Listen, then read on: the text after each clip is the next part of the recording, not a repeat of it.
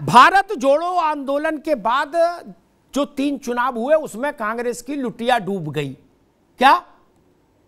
इतनी बड़ी तपस्या कर ली। इसलिए इन चक्करों मत पड़ो। ठीक? इतनी भी इतनी भी लंबी मत फेंक दो कि बाद में लपेटना मुश्किल हो जाए। एक बात आई थी दंभ। शायद मनोज ने कहा है किसी ने कहा कि मनोदंभ किसी हाँ ठीक बात है। लेकिन आ, सत्ता पाहे काहे मदन आई? मुझे याद है। अरे सत्ता के बाहर अरे रुको भाई हसन सिंह एक मिनट एक मिनट रुकिए अभी नहीं अभी नहीं। मुझे नारा याद है इंदिरा जी के समय में। इन्हीं की कांग्रेस ने दिया था। एक शेरनी सौ लंगूर। वाजपेयी चंद्रशेखर मुलायम सिंह सबको लंगूर बता दिया था। क्या? बहुगुणा जा जीवन राम। क्या? एक शेरनी बाकी सब लंगूर। नारा नहीं दिया था। तब ध्यान नहीं आया था कि देश में लोकतंत्र है और मर्यादा है और इसको भी समझना चाहिए।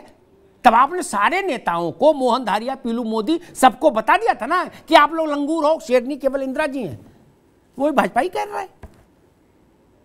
कौन सी दिक्कत? अरे मनोज जी क्या दिक्कत है? क्या को परेशान हो? क्या आपने नहीं कहा था, Indira is India India is Indira? कहा था ना? आपने तो बाकी सबको किनारे कर दिया, भारत में भारत ही अपने ऊपर ले लिया। भाई बोले, वो आओ माई के लाल, कौन मुकाबला करेगा? बोले, इंदिरा इज़ इंडिया और इंडिया इज़ भारत। क्या? इससे बड़ा कोई नारा दे सकता है माई का लाल? बाद में उनका डीके बरुआ का क्या हुआ? वो छोड़ दीजिए विषय। क्या? उनको इतिहास ने ले जाके किस कूड़ेदान में फेंका? देवकांत बरुआ तब नहीं बात समझ में आई है इंदिरा जी का वो भाषण नहीं से याद है कि वही टोन सबकी होती है भैया। जब आप वहाँ बैठे होते हो, मैं कहती हूँ, यही उनका स्वर लगभग ऐसे ही था, मैं कहती हूँ, गरीबी हटाओ, ये कहते हैं इंदिरा हटाओ, फैसला आपका। वो देश जो अभी कह रहे थे, कौन मेरे ख्याल से मनोज या रत्नाकर जी, किसी ने कहा कि भाजपा देश कैसे हो सकती है? अरे भाजपा तो पार्टी है, वो तो हो भी सकती है। उसमें तो लाख, दो लाख, दस लाख, पचास लाख आदमी तब भी है। एक देवकांत बरुआ ने तो कहा था, इंदिरा ही देश है, देश ही इंदिरा है। लोकल लो बात। है? अब आपको इस बात से तकलीफ़ है कि भाजपा ये क्लेम क्यों करते हैं कि वो देश है? क्यों भैया? ये रोटी नहीं खाते?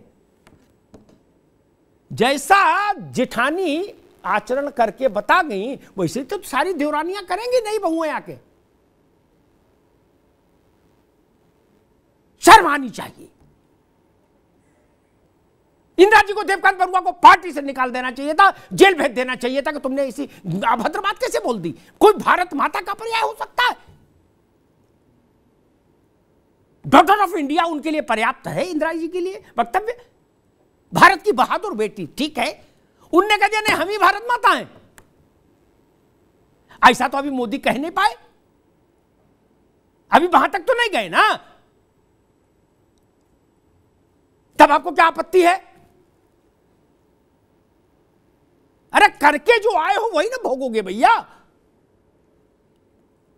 मैं एक बात कह दूँ। कांग्रेस के लोगों ने नोटबंदी पर बड़ी आपत्ति की थी। नए लोगों को नहीं पता होगा और उसके करने के तरीके पर बड़ी आपत्ति की थी। कहा था, अनडेमोक्रेटिक बिहेवियर है ये प्राइम मिनिस्टर का। किसी को नहीं बताया। अब जो कांग्रेस ने कहा, वही बाकी छोटी रीजनल पार्टियाँ भी उतना, उनने कहा, हम रिसर्च क्यों करें? जो कांग्रेस करी उसी में हम भी बोल दो, भाई, जिस चिदम्बरम जैसे लोग, बड़े बड़े लोग बोल रहे हैं, अंग्रेज़ी जानने वाले तो पर उन्होंने कहा छोड़ो हम क्या पढ़ लें हम भी बोलते हैं लेकिन सच ये नहीं था। ये मालूम है कहाँ से आई थी ये तरीका, मनोज? आप जान लो। क्या? इंदिरा जी ने जब बैंकों का राष्ट्रीयकरण किया तब और जब नोटबंदी की तब, क्या? जब बैंकों का राष्ट्रीयकरण हुआ तो कैबिनेट को बुला लिया गया, क्या? को तब तक सब इंदिरा जी आई नहीं थी, किसी आपस में पूछ रहे क्या मसला क्या है, क्या? आके इंदिरा जी ने कहा कि मैंने बैंकों के राष्ट्रीयकरण का आदेश कर दिया, क्या? सबने कहा, जय हो जय हो जय हो जय हो, क्या? इमरजेंसी भी जब लगाई थी इंदिरा जी ने तो किसी को बताया नहीं था, कैबिनेट का नोट नहीं गया था। ना। सीख तो सब वहीं से रहे हो भाई, रहे हैं। और कहाँ से सीखेंगे भैया? सब वहीं से सीखेंगे। इसीलिए कहते हैं, घर में सास का आचरण पीढ़ियों तक प्रमाण होता है। गलत तो नहीं कहा? सास ने घर में कभी रोटी नहीं बनाई तो बहू से किस मुँह से कहेगी, रोटी बनाओ? क्या? कांग्रेस के साथ ही समस्या है। और एक बात ध्यान रख लीजिए, क्या ममता जी ने कहा उससे आपकी नाराज़गी हो सकती है, अखिलेश जी ने कहा उससे भी हो सकती है, आप बड़ी पार्टी, लेकिन शरद पवार तो सीजनड आदमी ममता जी थोड़े क्रोधी हैं, हम जानते हैं। जल्दी गुस्सा हो जाती है। अखिलेश यादव के पास अभी उतना तजुर्बा तो नहीं है। मान लेते हैं। क्या? मुलायम सिंह नहीं है वो। लेकिन पवार साहब तो बहुत बुज़ुर्ग आदमी और दुनिया के सारे रंग देखे उन्हें सियासत के। और आपके साथ है अलायंस में। उन्होंने क्या कहा था कि कांग्रेस उस जमींदार की तरह हो गई जिसका खेत, मकान, हवेली सब चली गई है। लेकिन वो मानने को तैयार नहीं कि वो जमींदार नहीं है। रहा। क्या? ये एटीट्यूड की प्रॉब्लम है। अधिकांश राज क्षेत्रीय दलों के नेताओं से जब मैं बात करता हूँ तो वो कहते हैं कि अमिताभ जी, बाकी सब चलो एडजस्टमेंट हो भी सकता है, लेकिन कांग्रेस को वो बॉस वाला एटीट्यूड छोड़ना होगा। ये क्या है बॉस वाला एटीट्यूड और भाई साहब, वक्त पर अगर आप झुकेंगे नहीं, एक दृश्य मुझे याद है एसएन सिंह की पार्टी का। आंध्र में एक रैली थी। मोदी जी ने कितना अनुग्रह करके हाथ पकड़ के चंद्रबाबू नायडू को कुर्सी पर बैठाला। भाई, जब राजनीति करनी है तो इतना ख्याल करना पड़ेगा। चुनाव लड़ने का मतलब बिटिया का ब्याह करना है, रत्नाकर जी। क्या? हमारे बिना कोई नहीं हो सकता। ऐसा बोलने के बाद तो फिर जो घर में आ भी रहा होगा, वो भी चला जाएगा वापस। रीजनल फोर्सेस का बहुत ज़्यादा नुकसान नहीं है। चौबीस में क्रांति हो जाए, ममता बनर्जी की सेहत पर क्या फ़र्क? वो तो मुख्यमंत्री आई प्रधानमंत्री हो नहीं सकती। अभी, बात खत्म। बताइए। लेकिन आपका सब कुछ दांव पर लगा है। अगर इस बार भी कांग्रेस कुछ अच्छा नहीं कर पाई तो आपके लिए मुश्किल हो जाएगी। आप, आपके साथ जो कार्यकर्ता है थोड़ा बहुत जो भी उसको रिटेन करना। जैसे समाजवादी पार्टी के लिए 27 में चुनौती होगी यूपी में। अगर 27 में ये नहीं आए तो फिर इस दिल के टुकड़े हज़ार हुए कोई यहाँ गिरा कोई वहाँ गिरा। कहाँ मिलता आदमी? कार्यकर्ता कब तक इंतज़ार करे? आज का कार्यकर्ता कोई कमिटेड नहीं है, माफ़ करिएगा। वो एक टर्म दो टर्म तीन टर्म देखे, कब तक देखेगा?